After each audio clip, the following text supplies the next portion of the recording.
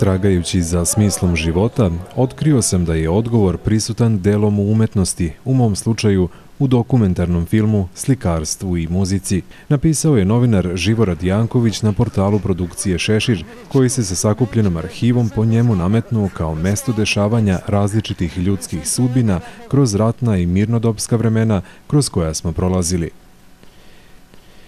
U petak na praznik svetih e, cara Konstantina i carice Jelene na prigodnoj svečanosti upriličenoj povodom završetka radova započetih u septembru prošle 2015. godine, književnik Slaven Radovanović presecanjem vrpce ozvaničio je rad rediteljsko-producenske kuće Šešir, koja je posle pauze od dve decenije prošle godine obnovila rad.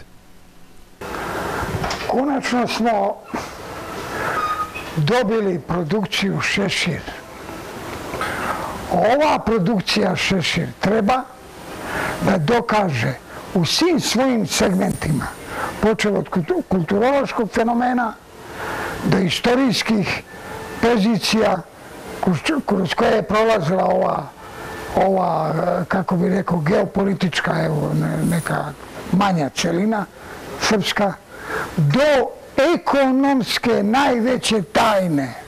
Ja želim produkciji Šešir, da reši enigmu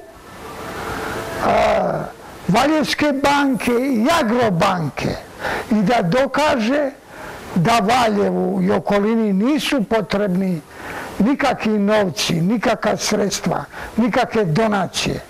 Da Valjevo to ima, samo treba da pritegne svoje kesarše i da krene u budućnost ozbiljno, i, e, kako da kažem, na jedan ljudski, objektivan način. E, niko ne može da me spreče u ovome. Svemu što sam rekao, ako sam čak i pogrešio, ali Živrada Jankovića kao novinara, tragača istine, istraživačkog novinarstva, tu nisam pogrešio.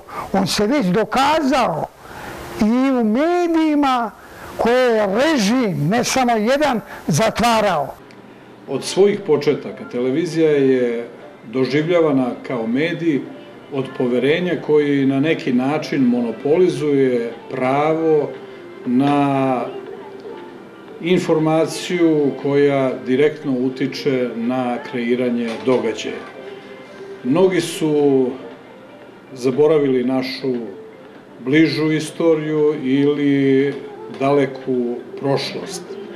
Ovaj kanal je pokušaj da gledalce navedemo na razmišljanje koliko smo izmanipulisani u oblikovanju kolektivne svesti i kolektivnog pamćenja kroz kontrakadar i format eh, pokretnih slika.